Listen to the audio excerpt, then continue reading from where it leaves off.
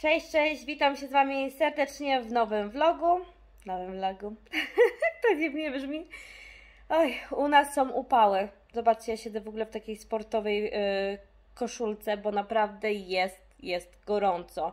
Na dworze jest ponad 30 stopni i stwierdziłam, że jak jest taki upał, dzieci i tak na dwór nie wyjdą, bo jest na ulicy upał straszny, gorąco, więc stwierdziłam, że pojedziemy dzisiaj na basen. Basen mamy tutaj koło domu, więc jest naprawdę bardzo, bardzo blisko. Basen otwarty.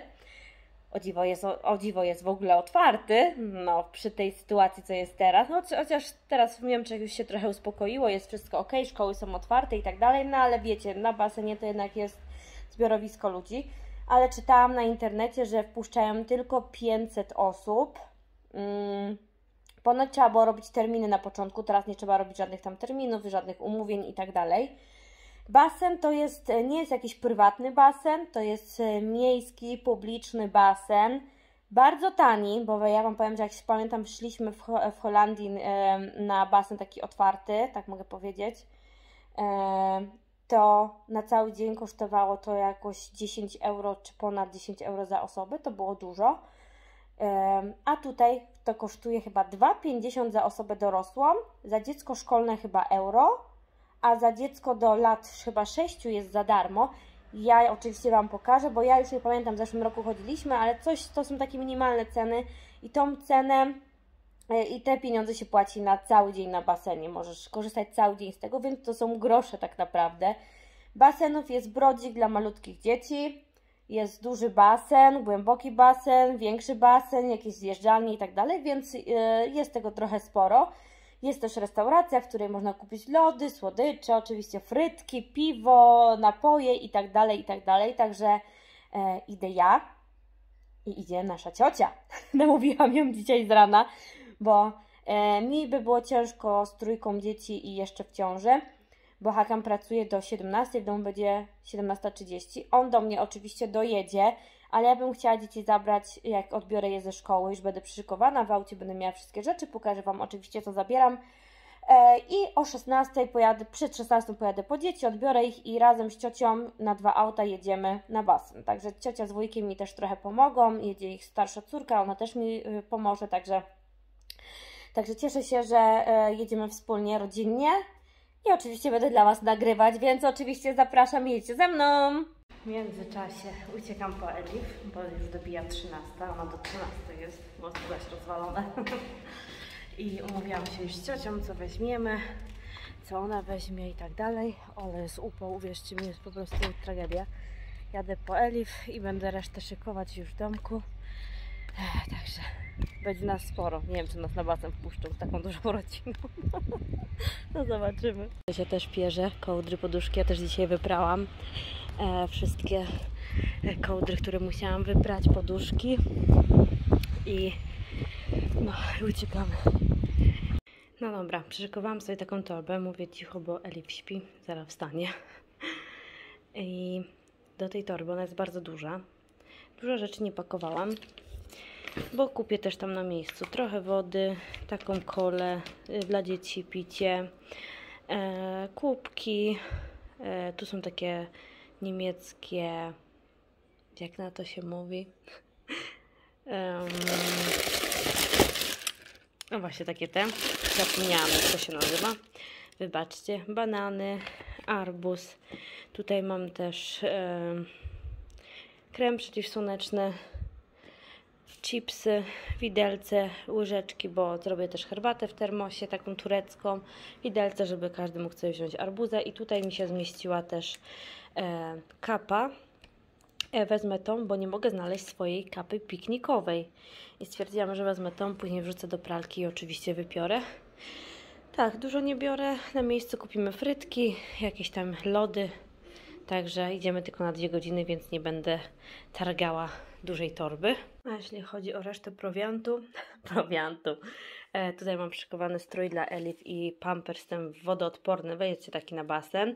E, ekstra mam jeszcze oczywiście w torbie i w torbie mam tutaj podstawowe rzeczy, czyli ręczniki, spodenki dla chłopców, e, e, ręcznik dla Hakana, spodenki dla Hakana, bielizna, e, także tutaj mam takie właśnie potrzebne rzeczy, więc będę miała dwie torby.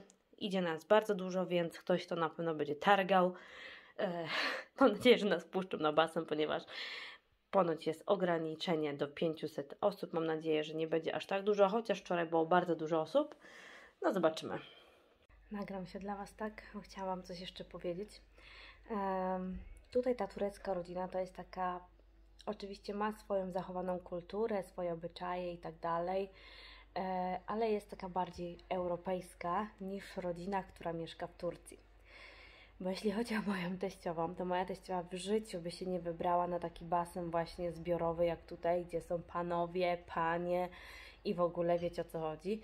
E, ona chodzi jedynie na takie baseny, które są dla kobiet tylko i wyłącznie przeznaczone. No, a panowie, e, tam gdzie panowie powinni być. Także jeśli ona by tutaj miała iść na basen, to w życiu by nie poszła, nie zgodziłaby się w ogóle, żeby iść tutaj na basen. A my tutaj z tą turecką rodziną sobie chodzimy, gramy w piłkę, pływamy, jemy, siedzimy, gadamy. Także super sobie spędzamy czas. Tak, no tak to tutaj wygląda. W Turcji troszeczkę inaczej, także widać tą różnicę, widać różnicę w kulturze może, może nie, może w wychowaniu, nie wiem. Może też ma to znaczenie, gdzie się właśnie e, dana rodzina urodziła, bo ciotka urodziła się w Niemczech, a teściowa wiadomo w Turcji, także no, dużo wpływa na to czynników, kto kim jest, jakim jest człowiekiem, e, jak się wychował i w ogóle, ale mi pasuje akurat tutaj, że ta rodzina jest taka właśnie europejska i że jest tak normalnie. No, dzieci szczęśliwe przyjechały na basen, koło domu mamy. Zobaczcie. Zaraz jest, ale wiecie co, jest kolejka, jest w ogóle bardzo dużo ludzi. Ja nie wiem, jak my tam wejdziemy do środka, ale naprawdę tutaj nie wydaje się dużo, ale kolejka jest ogromna.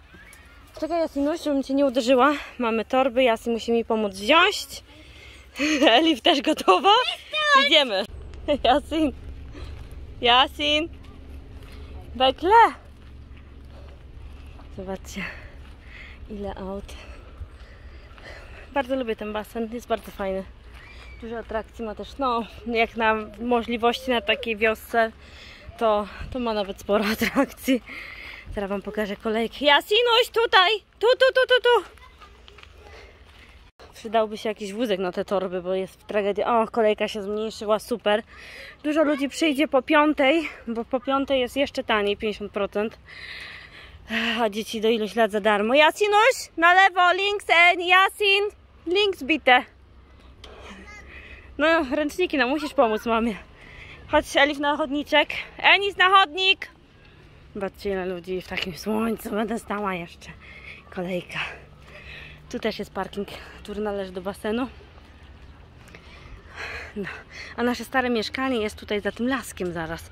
Także też mieliśmy rzut beretem. Stąd też nie mamy daleko, dosłownie może z 500 metrów, 800. Jeśli chodzi o płatność, dzieci weszły za darmo, ja zapłaciłam 2,50, więc to jest naprawdę nic. Tu jest jeden basen, tam jest drugi dla dzieci. Musimy iść tutaj. Ha? No.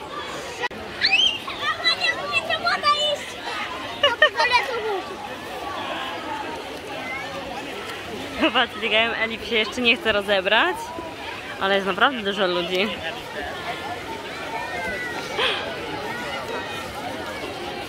Chłopaki pistolety mają. Chłopacy tutaj. Tutaj jest kuzynka. Właśnie tu.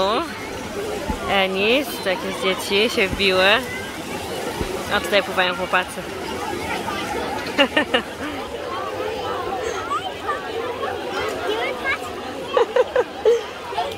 Wow, jaka ryba! Hakan, przyszła ciotki córka z mężem. Idziemy. Idzie ekipa, idzie ciotka z wujkiem. Moja sąsiadka tu. Jelif!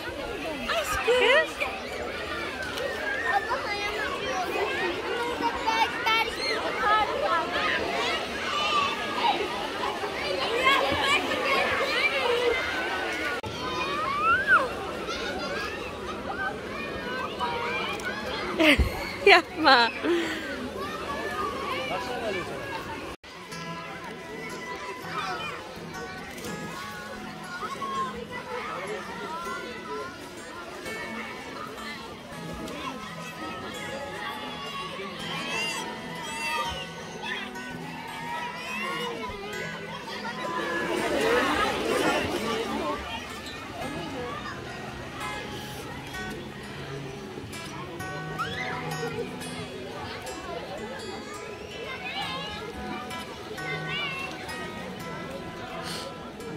zmęczeni. Właśnie wyszliśmy z basenu. Trzy godzinki nam starczą. Jutro może przyjdziemy. No nagrałam cię jak pływałeś. Enis też. Nie, chyba szliśmy już i idziemy do domu, jesteśmy zmęczeni, nie Jasina? Jutro przyjdziemy może, zobaczymy. Także widzieliście, 500 osób wpuszczają na basen. Eee, widzieliście też frytki, kupiliśmy sobie frytki 2,50 za taką porcję. No i tyle co ja płaciłam tylko za siebie, 2,50 dzieci weszły za darmo. Także tak to wygląda tutaj. Fajne, fajnie cenowo. No, dajcie znać jak u Was w krajach, jak w Polsce w ogóle teraz z basenem, jakie są ceny. I jeszcze jest gorąco. E? Cześć, cześć, witam się z Wami kochani serdecznie. Mówię trochę ciszej, bo jeszcze wszyscy śpią. A ja też niedawno stałam. Jestem spuchnięta, bo miałam tak ciężką noc. Jest tak gorąco. Uff, jak na dworze się zrobi trochę lepiej. Cześć, witam, ja też już nie śpi. Jak na dworze się zrobi trochę lepiej już pod wieczór, to w domu jest po prostu sauna i nie ma w ogóle przewiewu, żeby wywiać to ciepło, a żeby wleciało te chłodne powietrze. E, Jest godzina, która? Do ósmej chyba, nie? My wstaliśmy po jakoś po siódmej. Elif też stała, ale zasnęła dalej na kanapie, tak pod. E, Jak już widzieliście urywki z basenu, nie nagrywałam dużo, no bo wiecie, musiałam mieć oczy dookoła głowy, bo to trójka dzieci i wiadomo, że cały czas ich tam obserwowałam, trochę nagrałam tyle co mogłam dla Was. No, a dzisiaj mam nadzieję, że pojedziemy na taki rodzinny turecki piknik. Znaczy takie były plany, zobaczymy, może to się zmieni. E, bo planowałyśmy z ciocią na, tutaj na taką wodę, na piknik, żeby zrobić piknik, żeby zrobić śniadanko, zjeść, później zrobić grilla. Widzę, że są tutaj z tej strony ciemne chmury, tutaj jest słońce i jest zapowiadane, że ma być deszcz, ale jest też 30, ma być też 32 stopnie, więc to nie jest mało. Ja sobie, widzicie, popijam kawkę z rana, żeby po prostu się przebudzić trochę. Tak, jeśli pojedziemy na piknik, to oczywiście będę dla Was nagrywać. Jeśli plany się zmienią, to i tak będę dla Was nagrywać, żebyście mieli jakiegoś vloga właśnie takiego bardziej weekendowego. Także zapraszam Was teraz do oglądania.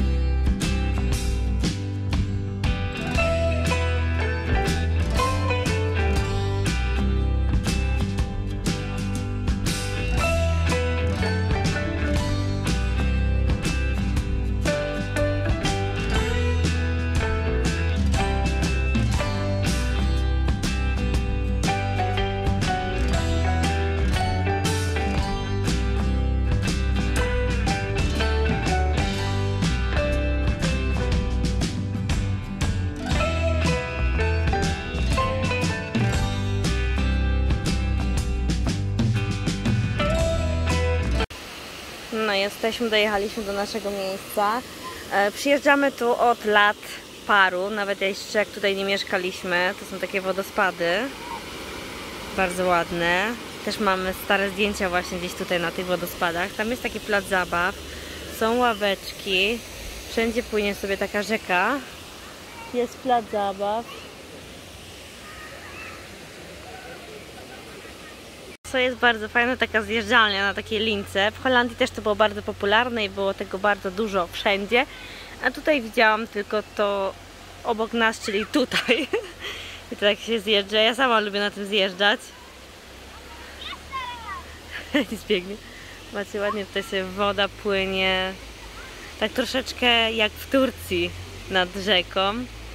I dlatego Turcy, Syryjczycy bardzo lubią tu przyjeżdżać. Tam jest właśnie taka duża turecka rodzina e, syryjska.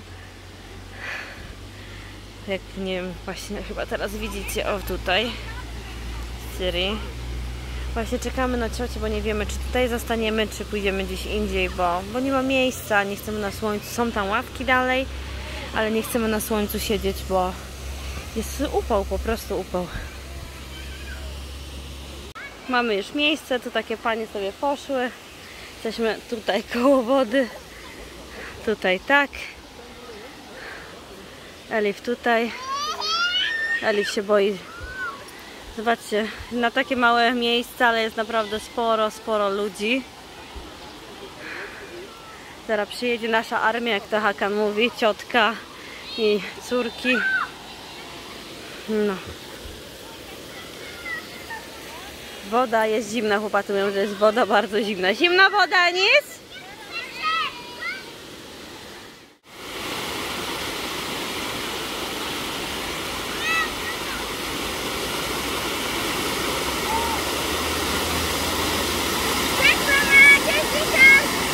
No.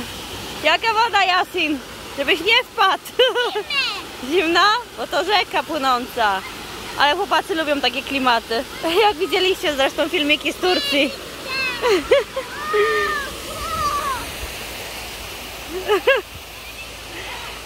Jasin! Uśmiechnij się! Enis! Enis! Foto!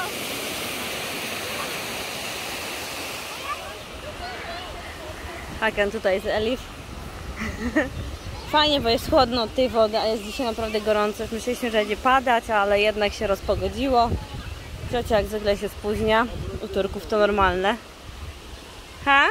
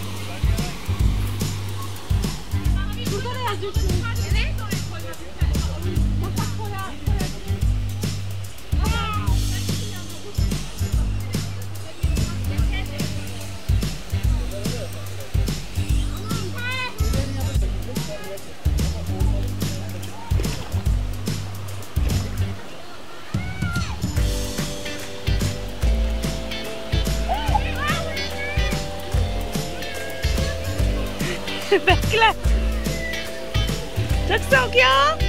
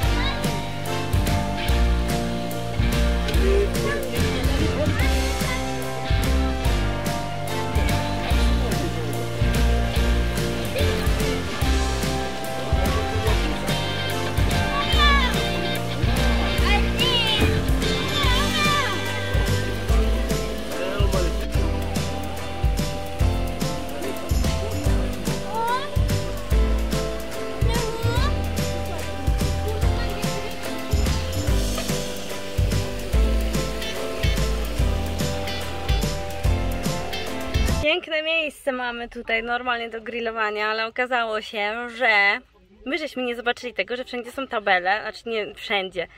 Tam gdzie wcześniej były grille, teraz są tabele, że nie wolno, że nie wolno robić grilla.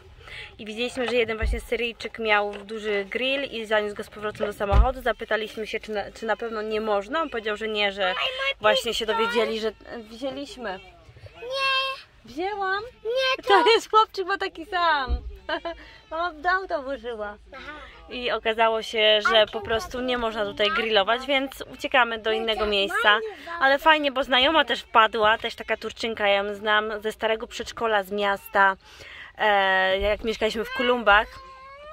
E, Jej syn chodził z moimi chłopakami do przedszkola i fajnie, bo się spotkałyśmy. Także no, uciekamy w inne miejsce, także piknik będzie z dwóch miejsc. Tutaj jest taki plac zabaw w lesie, ale też jest napisane, że nie wolno rozpalać grilla. Znaczy się, no przez tego wiecie, wirusa nie da rady, ale w takim lesie jest tu do ping-ponga, jest ławeczka, źle widać. Oturacak orada da var oturma yerleri. O, możecie zobaczyć, to też jest fajnie w lesie. Teraz widać lepiej, jest huśtawka, jest plac zabaw, jest piasek, stół do ping- ping-ponga. E, Czekamy jeszcze na ciotki mm, córkę, bo pojechała w inną stronę. Jesteśmy na trzy auta, jedziemy szukać miejsca, gdzie będziemy mogli coś rozpalić grilla i zjeść. Jedziemy!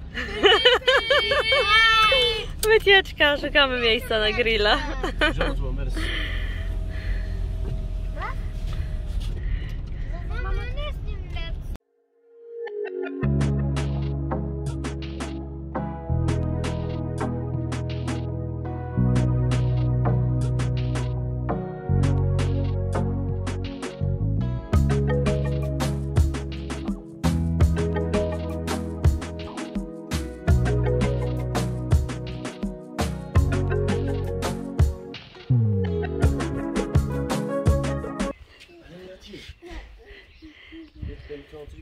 W końcu przyjechaliśmy do cioci na taras i tutaj zrobimy grilla, bo nie mogliśmy znaleźć nigdzie miejsca. Wszędzie jest zakaz grillowania i stwierdziliśmy, że no bez sensu będziemy jeździć, szukać. Jak tu mamy takie, o, rozłożyłam dzieciom kocyk. Wyciągają rzeczy. Tu jesteśmy my u cioci na tarasie, a tutaj jest nasz budynek, nad tym parasolem nasz balkon. Także ja się zaraz tu rozkładam na kocu, będziemy leżeć.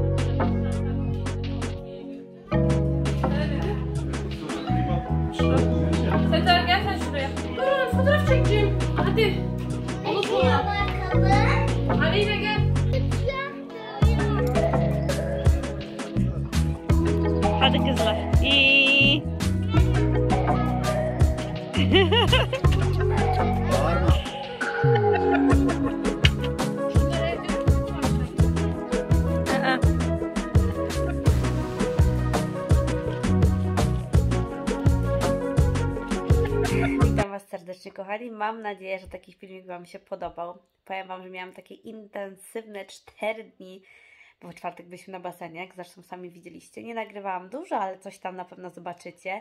Było naprawdę bardzo, bardzo fajnie. Dzieci pływały. Elif również była zadowolona, chociaż na początku nie chciała w ogóle wejść do wody. Ja sobie leżę, odpoczywam, bo jestem naprawdę padnięta. Dzisiaj też byliśmy na basenie. E, w ogóle mam nos zatkany i łapie mnie jakieś przeziębienie z tego wszystkiego. Piątek e, miałam intensywny dzień, ponieważ robiłam zakupy. Dzieci były jasne do 11, e, Elif z Enisem do, 14, do 13. Także zakupy to, tamto i w ogóle przygotowania e, do sobotniego pikniku. W sobotę pojechaliśmy na piknik. Byliśmy tam półtorej godziny chyba wcześniej od cioci. Dzieci się zdążyły pobawić i, i w ogóle fajnie było. Później przyjechała ciocia, posiedzieliśmy godzinę albo i dłużej i chcieliśmy rozpalać grilla i okazało się, że jest zakaz. Więc e, szukaliśmy przez następną godzinę ponad miejsca, gdzie byśmy mogli rozpalić tego grilla i nie znaleźliśmy. No i przyjechaliśmy do cioci na taras, do cioci do domu. E, Na tarasie rozpaliliśmy grilla, zjedliśmy, było naprawdę fajnie. E, sympatycznie, rodzinnie. Jak wiecie, Turcy uwielbiają pikniki. Ogólnie był plan taki, żeby jechać z rana tam na śniadanie i później e, zrobić grilla. No ale wiecie, że Turcy mają to zwyczaj, że zawsze się spóźniają, nie? I ciocia jak wstała, to było bardzo późno i stwierdziliśmy, że no bez sensu jechać tam robić śniadanie o godzinie 13, więc pojechaliśmy tam e, już na grilla, którego nie mogliśmy rozpalić później. No ale dobra. E, było fajnie. Na niedzielę zaplanowaliśmy basen, czyli na dzisiaj. I na tym basenie byliśmy ja, Hakan i dzieci. Ciocia miała dojechać i oczywiście nie dojechała. To normalne u nich. Nie dojechała. Posiedzieliśmy z dwie godziny, ponad dwie godziny. Przyjechaliśmy do domu. Jesteśmy tak zmęczeni tym weekendem. Było tak, wiecie, intensywnie. E, cały czas z rodziną i tak się zastanawialiśmy się, czy dzisiaj jeszcze nie iść do cioci na chwilę, ale już e, się wykąpaliśmy i w ogóle jesteśmy już w piramach, a jest godzina 17. I stwierdziliśmy, że zostaniemy sobie w domku, żeby już odpocząć. Także mam nadzieję, że taki filmik Wam się podobał. Taki weekendowo, tak, takiego dłuższego weekendu. E, ja się będę z Wami już dzisiaj żegnać. Jeśli, macie jakieś pytania, to oczywiście zadawajcie je w komentarzach. Ech, dobra, ja uciekam odpoczywać. Do zobaczenia, do słyszenia, do następnego vloga. Pa!